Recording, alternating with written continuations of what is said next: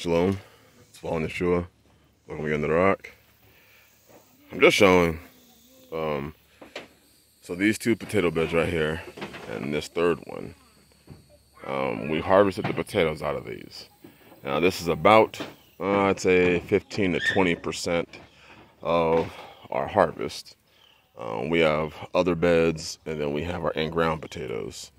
But as you can see, uh, they were harvested. And what we did is we harvested them, and then we replanted them so, uh, with uh, seed potato we had held over from last year, um, so we can have a winter crop.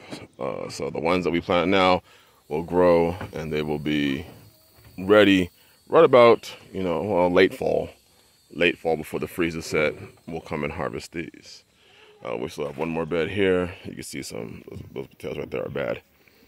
Um, and this bed right here, we're gonna actually do sweet potatoes this year. This is our first time doing real potatoes, you know, really focusing on heavily on doing it. And we grew our potatoes in leaves. And as you can see, uh, these two garden beds right here, the leaves broke down really well, but we added a little bit more soil and compost. So the leaves broke down really well. This one didn't break down very well.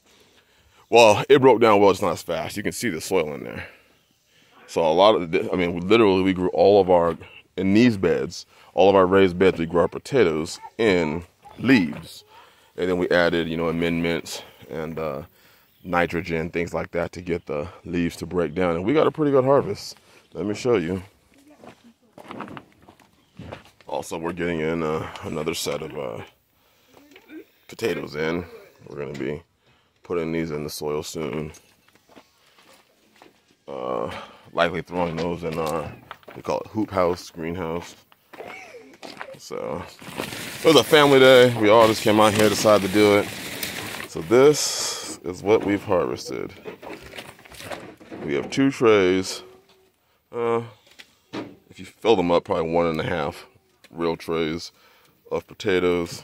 And this is about 20% of what we harvested or, or of what we have planted here on the rock. So uh, most of the other gardens, like the in-ground garden, obviously is dirt, so we're expecting a better haul from the in-ground beds or the growing in ground than we did growing in leaves. But again, these leaves have broken down seriously fast.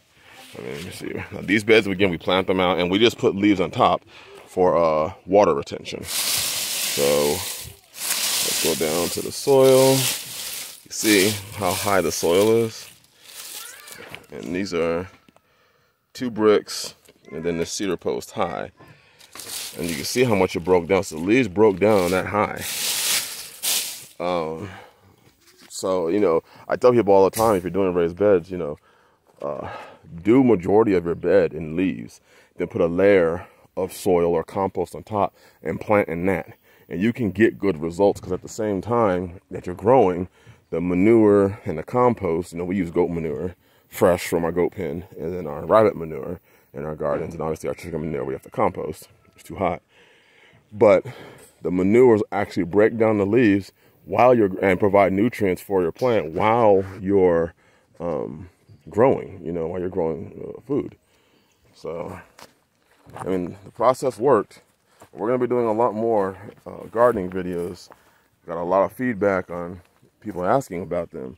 And, and um, I apologize that we kind of went away from it, but we're getting back to it. So this garden right here is all planted.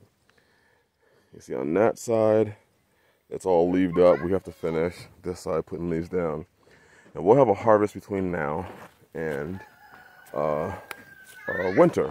So we have two, you get to children in the background uh, since Ebony is doing homeschooling right now um, uh, with the children. But uh, it's a beautiful thing to know that you can grow your food. You can grow a, a, ton of food, you know, and uh, a lot for a lot of us, it just comes down to are you going to do it or not. It's not a matter of can you. You can. It's just a matter of will you put in the work, the sweat, the man hours to do it. So we have a storm coming in right now. We got these three done. Um, with this amount of leaves on it, we haven't actually watered our garden one time these raised beds have not been guarded, watered one time. And the soil will still very, very moist. Very, very moist. So we're just looking forward to um, harvesting this last bed right here and then planting this out with sweet potatoes. And then going and uh, harvesting some of the seed or some of the potatoes in other areas. You can see how the soil break down. It's still damp, nice and moist.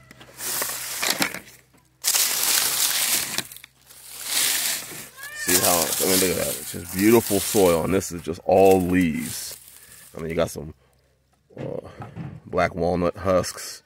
Our land produces a ton of black walnuts, which we press and we make oil out of it and we eat them and use them in different meals, cookies, things like that. It's just, it's a beautiful thing. So, hope you're continuing to grow. Just doing this video is a little bit of an inspiration. People asking, you know, growing potatoes, you know, it's, a very interesting conversation when people find out that I left, you know, the inner city, you know, Southern California to live this life. But, um, praise y'all for it. Anyways, bless y'all. Hope you're having a blessed and productive second day. And uh, we'll continue to bring you along as we transition the channel into more homesteading type stuff. And uh, may be a blessing, y'all. All right. Bless y'all. Shalom.